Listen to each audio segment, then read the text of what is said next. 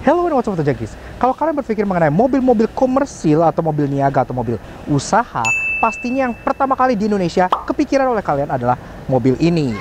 Iya, Daihatsu Grand Max. Dan mobil ini telah merajai kelasnya since ever since dia keluar gitu ya. Karena kan carry yang baru pun versi minibusnya itu masih belum terlihat sampai sekarang dan dia yang sekarang menjadi sayangan barunya adalah mobil yang satu ini. Iya, Wuling Formo dengan konfigurasi yang cukup unik karena pintunya bukanlah sliding door. Jadi ada nggak selain Wuling Formo mobil dengan konfigurasi sliding door yang bisa menyaingi keperkasaan si Daihatsu Grand Max tersebut? Nah sekarang ada penantang baru lagi yang berasal dari negeri China. Nah ini dari DFSK dan selain dia besar banget, lebih besar dari para kompetitor udah ada, dia juga available dijual dalam bentuk EV, iya mobil listrik. Jadi ini adalah DFSK Gelora EV tahun 2020.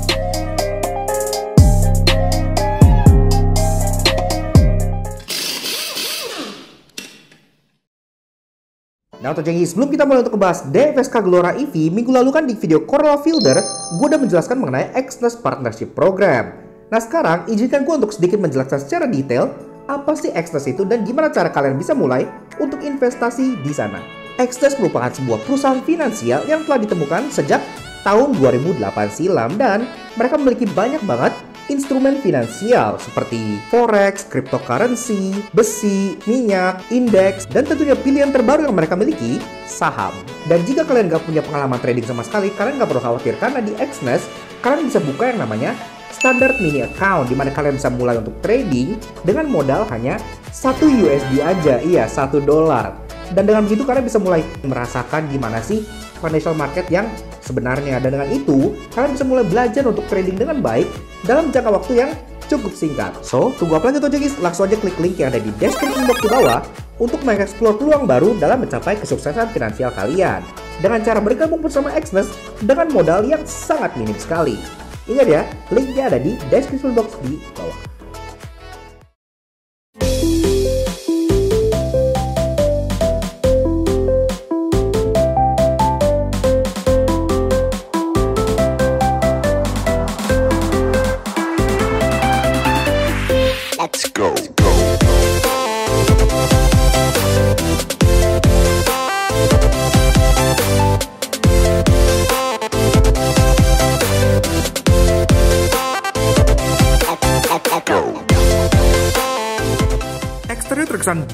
Alias boxy dan besar, fix terbesar di kelasnya, walaupun tampangnya ngitingkan dengan sebuah fan yang lumayan sukses di Eropa.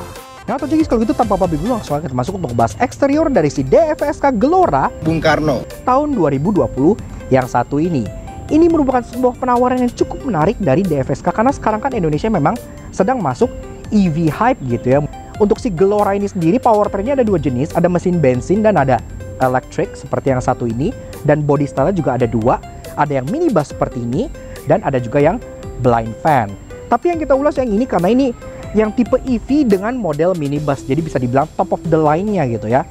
Dari atas dia memang masih polos, belum ada spoiler atau apa pun, belum ada defogger untuk kacanya. Tapi yang kita suka dia udah ada ini ya third brake stop lamp di bagian dalam sini yang beberapa kompetitornya masih belum punya. Jadi ini aspek keamanannya terjaga karena ini mobilnya cukup tinggi dan melintang. Tidak ada chrome sama sekali.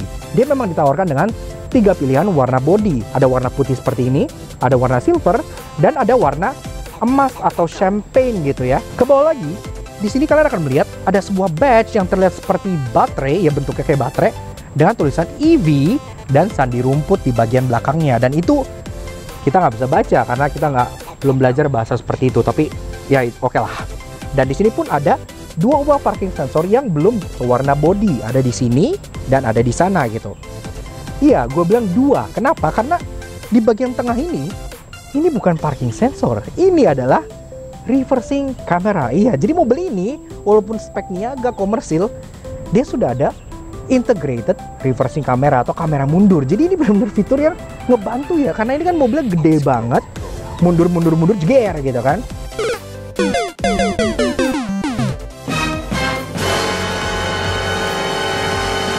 Ada kamera sangat ngebantu. Taillight itu juga dia masih terkesan memang cukup sederhana karena dia masih bohlam semua dengan finishing kristal multi reflektor seperti ini. Untuk lampu senja dan lampu rem dia di cluster yang bulat tengah bagian sini. Untuk lampu sein di bagian atas sini yang mikanya ember dan untuk lampu mundur di bagian strip tipis di bagian bawah sini. Ini adalah rear fog lamp. Lagi-lagi sebuah aspek keamanan yang jarang ditemui di mobil-mobil niaga yang dijual di sini. Karena ini kan memang developmentnya itu European spec dan beberapa di sana tuh emang ini udah mandatory, udah harus gitu ya. Mencegah orang-orang untuk menyalakan hazard yang bisa mencelakakan di kala hujan dan itu bagus.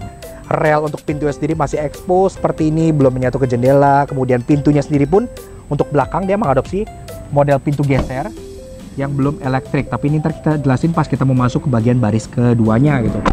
Nah, jendelanya kayak gue bilang cukup besar-besar dan yang bisa dibuka itu jendela loket di sini yang kayak cekering karcisnya mas gitu ya. Dan ada lagi satu lagi di bagian belakang sini gitu. Door handle ini dia modelnya cukup lucu karena dia bukan model grip dia model cepol tapi cepolnya tuh kayak diputer gitu. Jadi cepolnya tuh begini ya cepol vertikal gitu. Dan di bagian bawah sini pun ini tuh ada tempat buat fast charging karena memang di mobil ini kan ada dua buah charging port satu buat normal charging satu buat fast charging yang buat fast charging itu ditaruh di bagian samping bawah sebelah sini gitu. Spionnya pun dia masih seperti ini ya dia pun masih manual adjustment dan masih manual retract. Jadi cukup normal lah untuk kelasnya seperti ini tidak apa-apa gitu. Dan di sini memang tidak ada lampu seinnya tapi at least dia tetap ada lampu seinnya di bagian fender sebelah sini. Jadi lagi-lagi safety dari samping tetap terjaga pas dia mau belok. Dia memang masih pakai pelek stilis atau pelek kaleng seperti ini gitu ya dengan laknat ada 5 dan di sini pun dia peleknya ring 14 inci. Pakai ban Max Track dengan tipe SU810 ukurannya sendiri 185R14 pengereman di bagian depan dia sudah cakram walaupun di belakang dia masih tromol dan untuk kaki-kaki dia di depan sudah pakai spring seperti ini sedangkan di belakang dia memang masih pakai per daun layaknya mobil niaga pada umumnya gitu. Tapi at least dia sudah dilengkapi dengan ABS dan EBD. Jadi keamanan cukup tetap terjaga. Oke lah. Nice. Dan di depan sini mungkin kalian akan langsung nyadar kayak kok bentuknya familiar gitu ya. Kayak pernah lihat gitu bentuknya begini di mana gitu ya. Sebuah fan yang cukup tenar di Eropa gitu. Tapi mungkin itu cuma perasaan gua aja. Oke. Okay. Dia modelnya memang kayak semi bonnet gitu ya. Jadi hoodnya tuh pendek kayak fan-fan Eropa yang tadi gue bilang.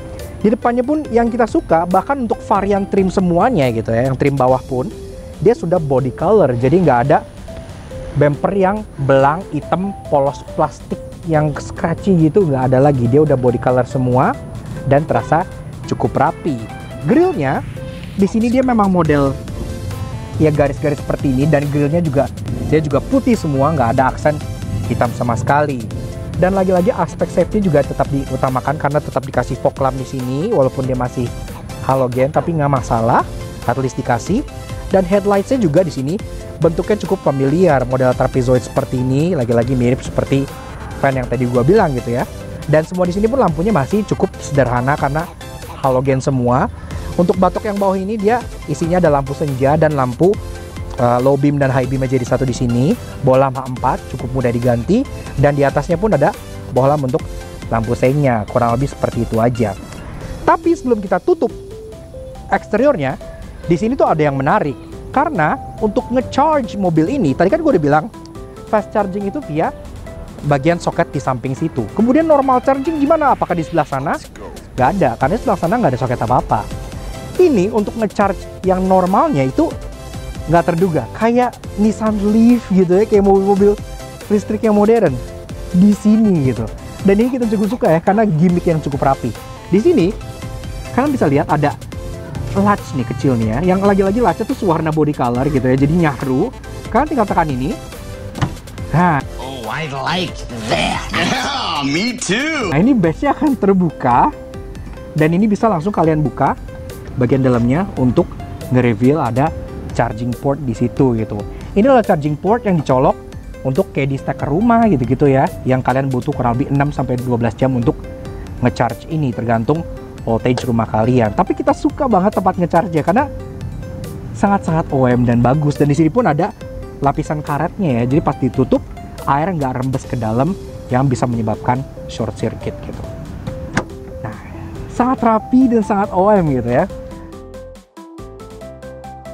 Interior terkesan LL alias luas dan lega, terlega di kelasnya dan ia memiliki fitur yang gak dimiliki oleh teman-temannya di kelas Niaga.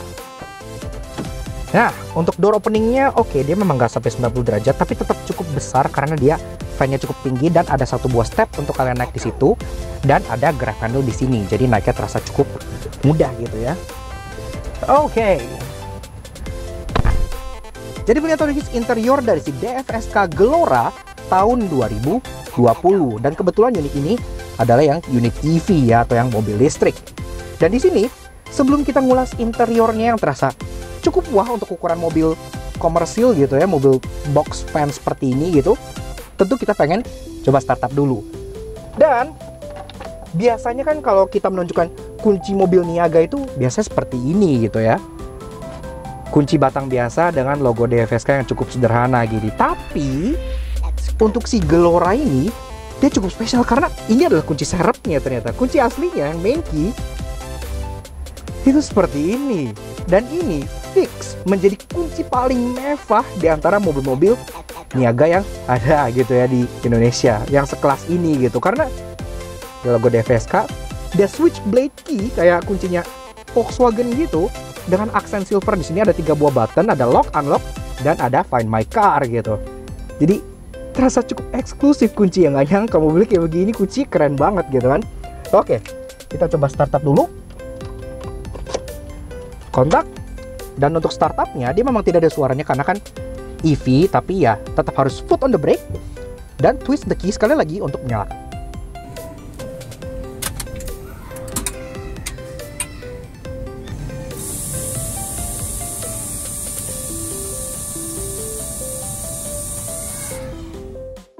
Nah untuk jadi kalau bicara solda berpacu si DFSK Glora ini memiliki dua pilihan mesin. Ada yang 1500 cc bensin, kita akan bahas itu dengan lengkap di akhir video. Dan yang ini, versi EV. Dengan permanen magnet motor bertenaga 80 horsepower dengan torsi yang sangat besar yaitu 200 Nm. Yang dapat diraih sejak 0 RPM karena dia mobil listrik. Dan ini di make ke transmission, satu percepatan planetary gear dan berpenggerak roda belakang dengan kapasitas baterai 42 kWh yang membuatnya bisa mencapai range di 305 km, jadi cukup jauh ya. Kemudian pengecasan diklaim dengan fast charging dapat penuh dalam waktu 2 jam aja. Jadi nice.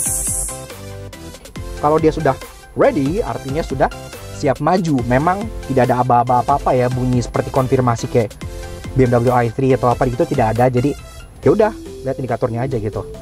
Hah, oke interiornya Pertama mulai dari dashboard dulu, cukup standar karena memang mobil sekelas ini semua juga masih hard plastik tapi plastiknya terasa ya cukup durable lah. Cukup glove box dia belum soft opening tapi ya cukup lega di sini gitu.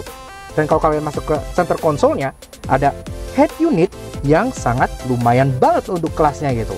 Tapi sebelum kita nyalain AC dulu, karena lagi-lagi mobil udah nyala sebenarnya, cuman dari suaranya quiet karena ini EV. Nah, head unit ini modelnya touchscreen dan ini luar biasa besar untuk kelasnya gitu. Jadi kita juga cukup impress gitu ya.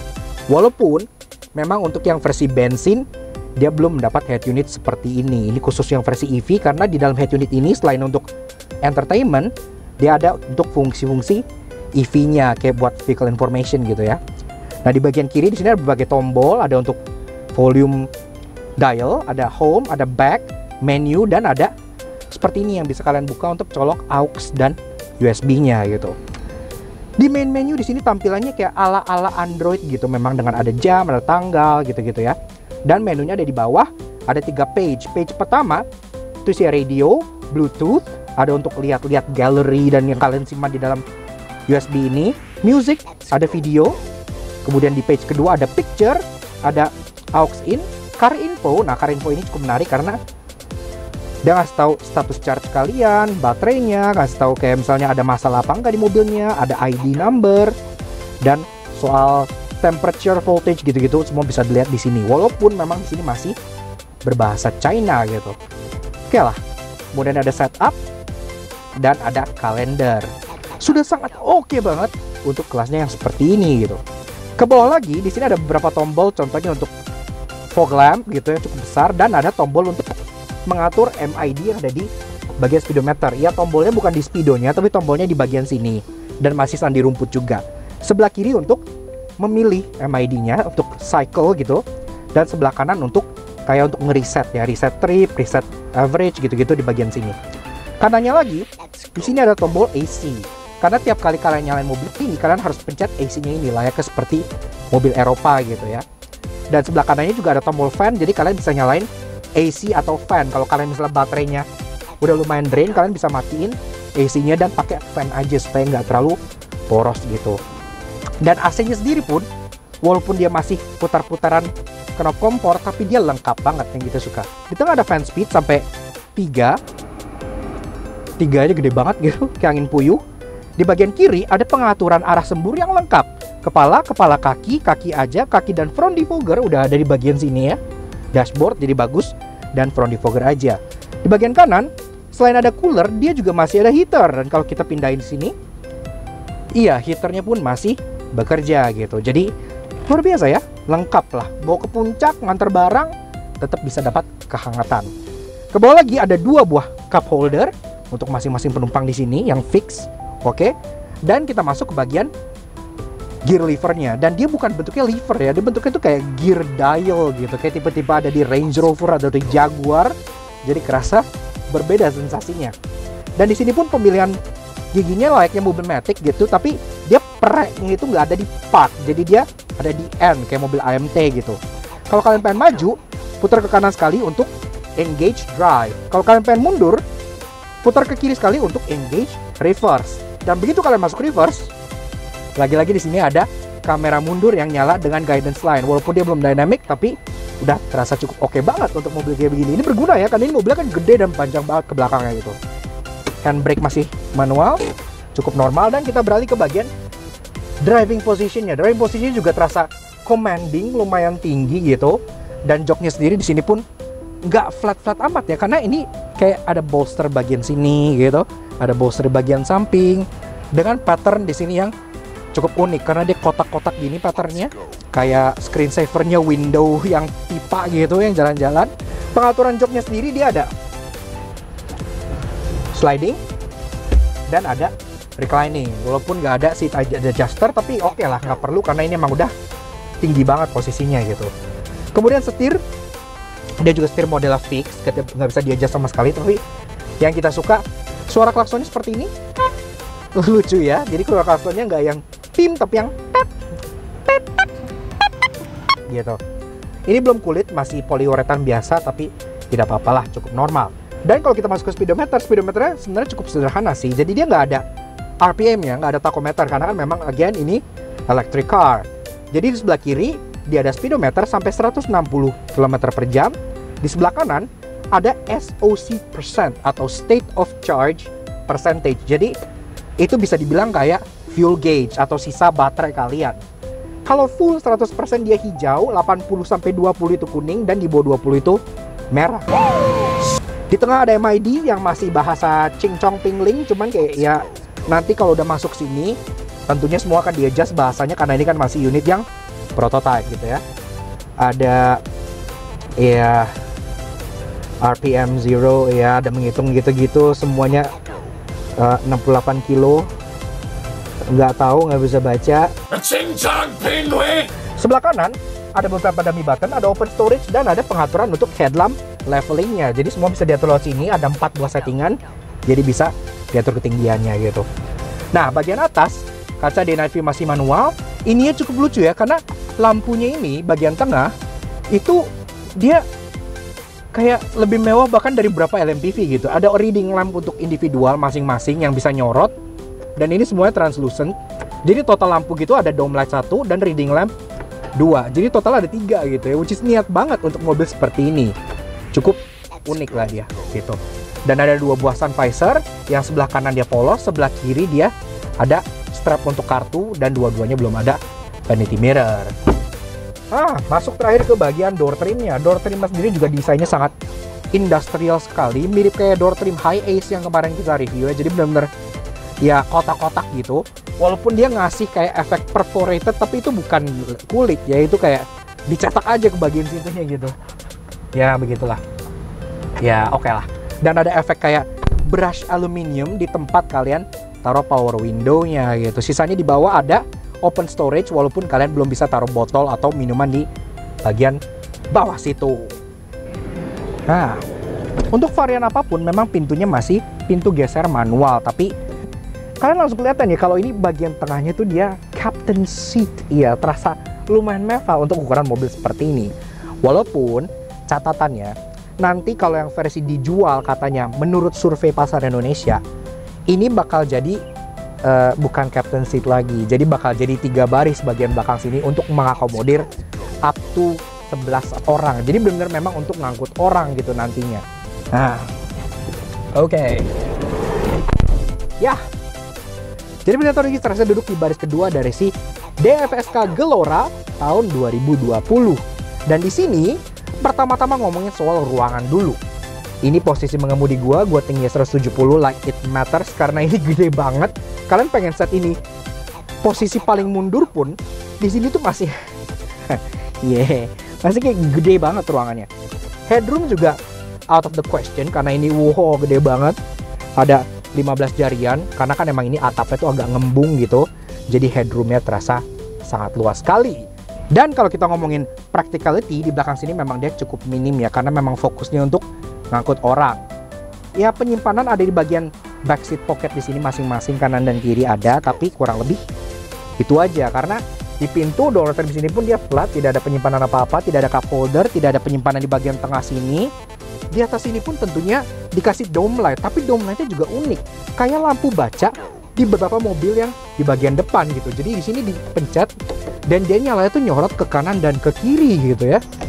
Sangat unik untuk ditaruh di bagian tengah sini gitu dan jadi terasa sedikit lebih mewah. Oke, kurang lebih dari tengah sih begitu aja. Sekarang kita pengen cobain duduk di baris ke tiganya. Kayak apa sih? Ini tadi gue udah duduk dengan cukup nyaman di bagian jok baris kedua ini. Di belakang sini gue masih ada sisa 10 jari untuk legroomnya. Jadi untuk ruangan, mobil ini memang udah unbeatable di kelasnya. Dia gede banget.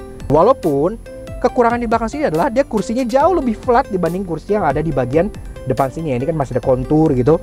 Ini dia jauh lebih flat. Dan ini pun jauh lebih flat tengahnya gitu. Tapi at least kalian bisa bawa tiga orang di belakang sini dengan cukup leluasa. Nah, ngomongin soal bagasinya, seperti yang kita bilang, dari panjangnya juga udah kelihatan ya. Biasanya kan mobil sekelas ini tuh tidak sepanjang dan sebesar ini gitu. Oke kita buka dulu di sini emang pembukanya tuasnya masih mekanikal jadi bukan yang elektrik tapi masih nggak masalah lah cukup normal di kelasnya. Dan begitu dibuka, nah ini yang bikin gue impress banget. Biasanya kan untuk mobil tiga baris itu kalian tuh harus milih untuk jok belakang. Misalnya kalian berdiriin joknya untuk penumpang, bagasi bakal langsung jadi sempit atau kalian harus turunin lipat joknya untuk bagasi yang lebih besar. Tapi di sini dengan jok berdiri bahkan posisi agak recline kayak begini, ini bagasi masih gede banget, banget bener masih gede gitu ya. Kalian masih bisa taruh di sini koper medium 3, mungkin kalau ditumpuk bisa 5 gitu. Kalau koper large kalian taruh di sini masih bisa masuk 2. Jadi sini emang ruangannya gede banget gitu. Kalau kalian pengen lebih banyak ruangan lagi, kalian bisa fold ini ke bagian depan ya dengan strap yang ada di bagian atas ini gitu. Kalian tarik, dan ini kalau langsung tidur seperti itu dan kalian bisa taruh lebih banyak lagi barang di bagian belakang sini Nah, Tojekis kami pun sama penasaran dengan kalian atas gimana sih rasanya bawa mobil listrik dengan bentuk van besar seperti ini. Sensasinya gimana, tenaga gimana, yuk kita tes aja, let's go! Nah, Tojekis, first drive dari si DFSK Gelora EV Minibus. Dan ini kayak kita tadi coba pas startup ya. Foto the brake pas kita start, udah gitu aja gak ada suaranya. Suara cuma gitu doang dengan tulisan ready. Kita langsung putar rotary dial ke D untuk drive terasa sangat futuristik dan kita mulai jalan. Dan begitu gue lepas rem ini dia ada creep mode nya ya ke mobil matic konvensional. Jadi dia bakal otomatis jalan ke depan kalau kalian lepas remnya gitu. Dan kita mulai dari tiga hal positif dulu mengenai driving impression. Yang pertama pastinya torsinya. Iya karena ini kan mobil listrik gitu. Jadi max torque di 0 rpm alhasil tarikannya itu luar biasa gitu. Itu akan menjadi sebuah pengalaman sensasi baru juga bagi para uh, transporter dan kurir di luar sana yang memakai mobil ini karena ini akselerasi terasa begitu instan walaupun memang top speednya nggak seberapa gitu ya karena kan dia berat juga. Dan yang kedua, adalah menurut gua driving aid-nya. Kalian membawa mobil ini tuh terasa sangat terbantu sekali berkat adanya contoh hill start assist ketika nanjak mobil nggak turun, kemudian adanya reversing kamera, adanya sensor parkir, begitu-gitu semua tuh driving aid membantu kalian untuk membawa mobil ini yang memang ukurannya tidak kecil, tidak terasa seperti mobil yang benar-benar bikin kalian kagok bawahnya gitu ya. Terasa pede nyetirnya gitu. Dan yang ketiga adalah driving position dan visibilitasnya. Iya, karena di mobil ini tuh jendelanya gede-gede semua gitu. Terus kalian nyetir juga dengan posisi yang sangat commanding dan tinggi. Jadi visibilitas ke depan, ke, ke samping, ke belakang tuh sangat jelas. Dan kalian terbantu juga dengan manuverabilitas mobil ini yang terasa lumayan gampang untuk dikemudikan. Iya, dengan ketika kita mundur gini-gini segala macam tuh radius putarnya pun nggak terlalu bikin kalian sulit untuk bawa mobil ini. Jadi untuk dalam kota pun dengan ukuran yang besar seperti ini, ini masih terasa oke okay banget gitu ya. Yang nggak dibilang gesit, tapi easy to drive lah untuk ukuran bodinya yang gede begini gitu. Oke, tapi tidak ada mobil yang sempurna. Sekarang kita masuk ke tiga hal negatifnya. Yang pertama adalah yang gua rasain itu ketika kalian engage gear, apalagi gigi mundur gitu, itu dia butuh waktu sekitar 5 detikan untuk masuk dan engage. Dan itu akan menjadi sedikit mengagokkan ketika kalian misalnya lagi di uh, turunan atau tanjakan gitu ya. Bisa kalian lagi turunan nih, kalian pengen mundur gitu.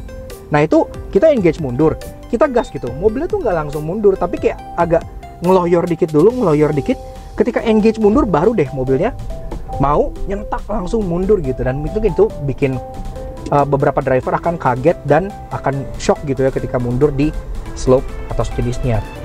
Kemudian yang kedua ya gue tahu mungkin dari sistem mobil ini dibuat untuk mengkonserv battery gitu-gitu segala macem jadi untuk unit AC dari mobil ini itu Bahkan jika dibandingkan dengan super cap, saudaranya yang berbentuk pickup itu masih jauh lebih dingin super cap AC-nya. Dan karena ini AC-nya cuma dari depan doang, nggak ada double blower, tentunya pasti penumpang di belakang sana akan jauh lebih panas lagi. Itu yang kedua. Dan yang ketiga, tentunya ini menjadi uh, masalah, bukan masalah sih, ketidaksiapan utama dari mobil listrik di Indonesia, yaitu range anxiety. Iya, itu akan bikin kita sedikit anxious, sedikit khawatir gitu ya ketika di jalan kayak, aduh nih masih jauh nih gue nih dari charging station nih, nyampe nggak ya? Range tinggal segini lagi gitu-gitu. Dan itu mungkin akan menjadi beban ke mental kurirnya ketika mereka pakai ini untuk let's say ngantar barang atau ngantar orang atau nyatel. Apalagi kalau contohnya shuttle-nya misalnya keluar kota gitu ya. Terus macet gila-gilaan di tengah jalan. Nah itu supirnya mungkin akan stres sendiri dan akhirnya nyari minimarket atau rest area terdekat untuk ngecharge dengan pakai charger yang slow charging dan dia harus diam di selama 6 sampai 12 jam. Iya, tapi hal seperti itu kan akan improve seiring waktu gitu dan ketika nanti infrastruktur sudah mendukung, DFSK akan tercatat dalam sejarah Indonesia sebagai salah satu manufaktur yang memberikan option mobil komersil dengan varian EV di Indonesia dan menurut gue ini adalah brave move dan ke depannya pasti mobil-mobil seperti ini akan lebih banyak lagi di jalan di Indonesia dan masalah yang tadi pun akan sendirinya akan teratasi jadi mobil ini ya sebuah langkah yang sangat positif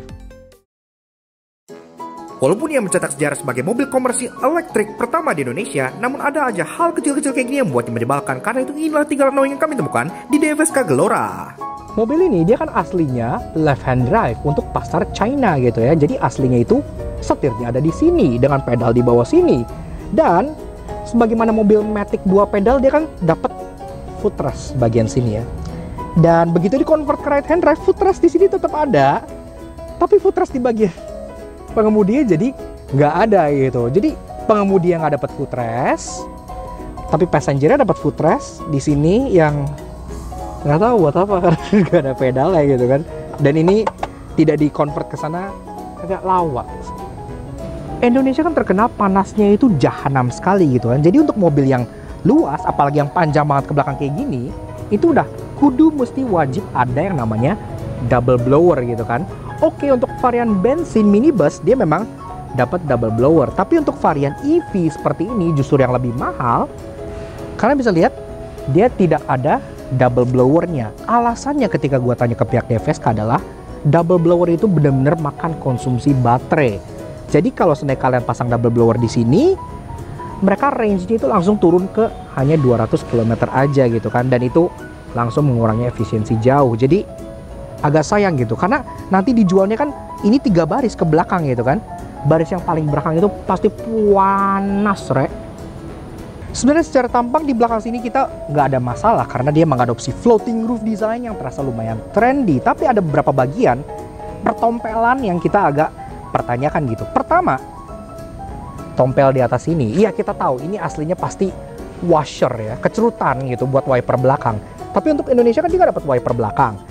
Tapi tetap ada tompel tempat kalian pasang wipernya di sini gitu. Jadi ada tompel satu di sini untuk pasang wiper, tompel lagi satu lagi di sini untuk washernya gitu kan kalau memang tidak dikasih wiper kenapa nggak at least ini di body colorin gitu biar nyaru gitu kan ini juga di body colorin gitu biar nyaru kalau kayak gini kan kayak PHP gitu apakah disuruh pasang sendiri namun tenang, karena sebagai mobil niaga pertama yang menawarkan versi elektrik, pasti ada yang menarik. Karena itu inilah tiga interesting yang kami temukan di DFSK Gelora. Tadi kan gue bilang, integrasi kameranya cukup unik karena di bumper bawah, plus kalau kalian masuk mundur, di sini langsung nongol kamera yang ada guidance lainnya. Tapi driving aid sesuatu yang membantu di sini lebih dari itu. Kenapa? Karena kalau kita mundur, ya, kita mundur menuju tembok gitu. Nah, ini kita approaching tembok. Nah, di sini tuh ada sisa distance gitu ya, kanan dan kiri, 1 meter, 1,1 meter gitu. Jadi ini menurut gue adalah driving aid yang membantu secara visual dan untuk mobil yang ukurannya segede gini ke belakang kan kadang-kadang suka susah ngira-ngiranya gitu kan. Ini mundur lagi. Loh ini sangat akan membantu maneuverability dari mobil yang ukurannya segede gini dan itu luar biasa keren. DFSK itu tahu banget kalau orang Indonesia itu demen banget yang namanya beranak. Makanya di mobil ini itu di setiap jok belakangnya kalian sudah bisa taruh isofix tethering point di sini ya. Di sini ada di bagian sini ada dan di dua jok row belakang pun ada di kanan dan kiri.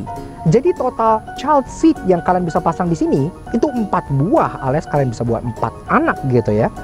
Dan kita nggak tahu apakah di versi yang nanti production yang tiga baris ini akan tetap ada seperti ini. Tapi ada kayak begini di hampir tiap jok tuh ideal bagi orang-orang Indonesia yang banyak anak. Mobil ini kan mobil usaha, mobil niaga, mobil untuk berbisnis gitu ya. Jadi kalau misalnya kalian lagi bawa barang, lagi ngitung uang, ngitung stok, ngitung apa dan kalian oh lupa bawa kalkulator gitu.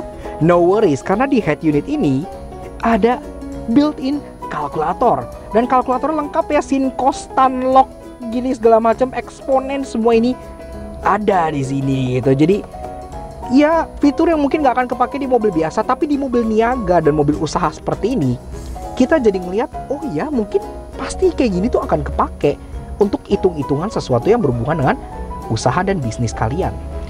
Top.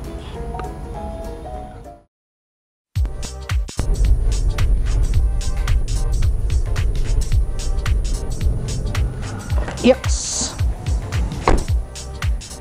Ya, jadi kurang lebih seperti itu sih fun impression kita mengenai si DFSK Gelora untuk tipe yang minibus EV seperti yang di belakang gue ini. Dan seperti yang gue bilang juga di sini kan dia tipe mode itu ada banyak ya.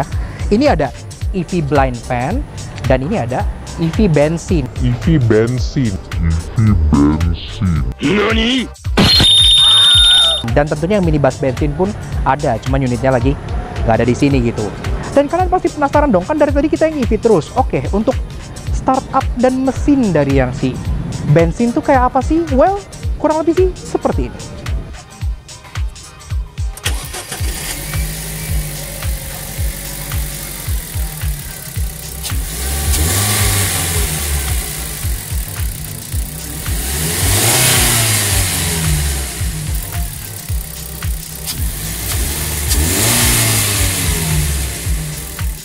Nah, Tojangkis varian EV udah kelar semua, sesuai janji kayaknya kurang afdol kalau kita nggak bahas varian bensinnya juga, jadi mesinnya seperti ini. 1500cc berkode DK1506, sudah VVT bertenaga 114 horsepower dan torsi 148 Nm.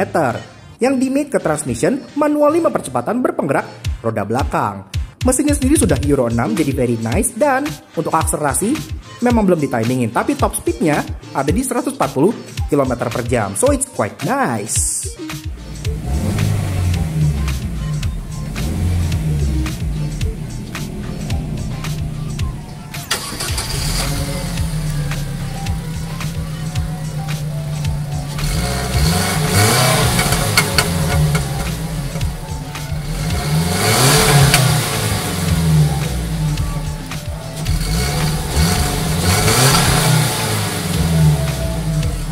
Ya kurang lebih begitu. Tapi secara spek mobil mirip lah luar dalamnya antara yang EV maupun yang bensin. Hanya berbeda di beberapa bagian. Contohnya di head unit yang tadinya ada display untuk informasi mengenai EV-nya gitu. Untuk yang bensin tentu tidak ada karena dia head unitnya masih head unit model putar biasa gitu ya. Tapi secara overall mobil ini sendiri menawarkan sebuah daya saing yang berbeda karena mobil ini sendiri kan menawarkan sebuah mobilitas listrik untuk mobil niaga yang selama ini belum pernah ada di Indonesia gitu. Untuk harga, memang pada saat kita bikin video ini harganya belum fix. Thank you juga buat kalian semua udah nonton. Kalau kalian suka dengan karya-karya kami, kenapa kalian support kami dengan cara subscribe YouTube channel kami di Laknat Soto Jangki. Kepoin juga sosial media kami untuk Instagram kami di Laknat underscore dan Facebook kami di laknats.aj. We'll see you guys again in next video. Ride safe and Godspeed. Kuncinya juga keren.